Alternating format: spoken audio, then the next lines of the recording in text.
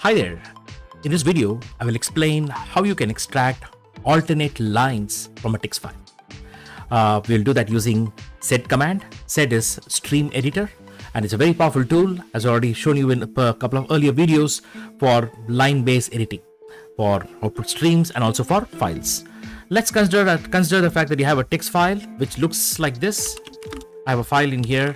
Uh, I generated this from a script and uh, the file has a pattern this way where you have the file name in one line. The following line contains some information about the file, maybe the size, the owner, um, and the mode bits and the inode number.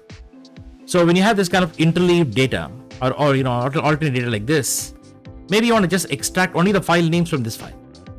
So I, that means I want to get only the alternate lines from this output. So if you want to do that, you can use a sed and I can use minus n. I will tell you why that minus n switch is required in a while. Just hanging there.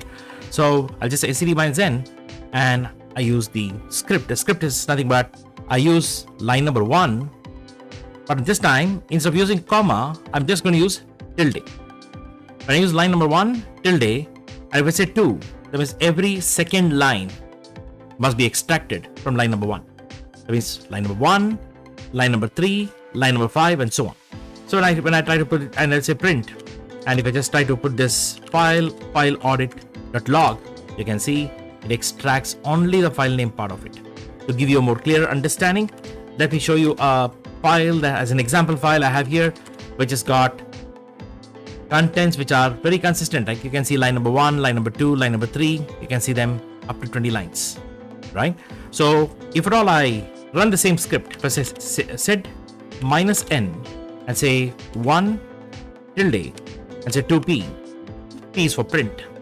Print every second line from first line. That means first line plus two, that's three. Then third line plus two, that's five. So this is think of this as a step value, right? The starting line number and the step value print. So you can just provide this and we just try say a.txt, you could see that it prints line number one, line number three, line number five, line number seven. So every alternate lines are print printed. In fact, you can provide the step value as five, for instance. You can see that prints line number one. One plus five is six. So line number six is printed. Yeah, and six plus five is 11.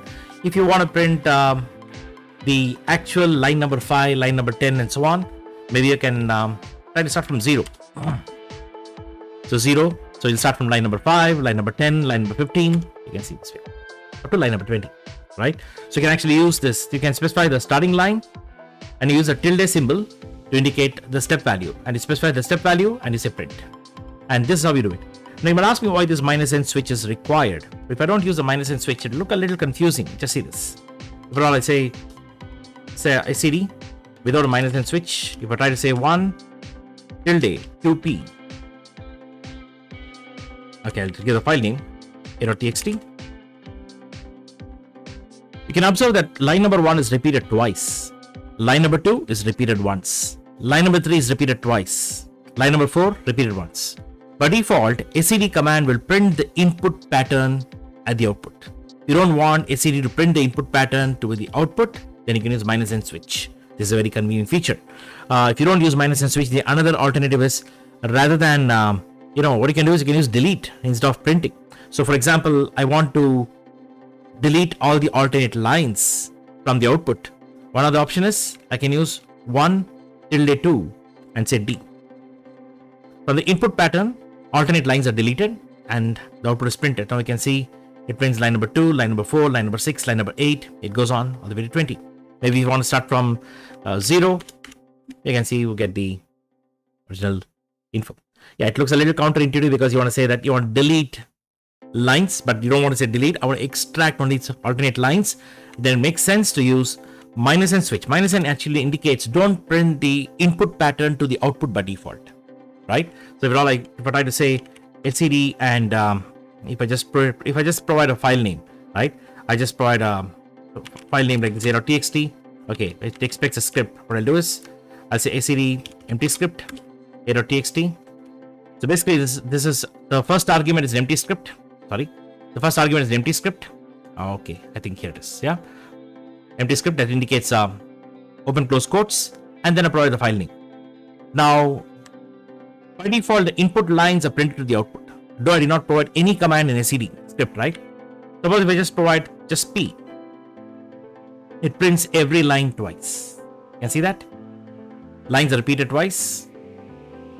But if I try to use SED minus N and P, it's printed only once. Why? Because SED minus N, you provide an empty script, it does not print any, any input pattern to the output. It only prints them when you use explicitly the print command, right? So that's why we are using this particular feature. So when we when we to, to extract alternate lines, I use this technique.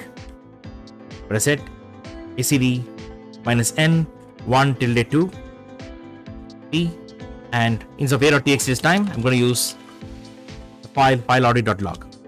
So I try to deploy the file file or audit.log, only the file names are printed. The alternate lines that gave you some file info, they have been skipped. This could be a quite useful feature when you're dealing with any kind of input data which has alternating format of data or format of lines and you want to get one set of them while leaving out the other set, you could use this technique. Hope you found this video useful. Um, if you do like it, so please do comment so I can make more future videos in the same line. Thank you very much.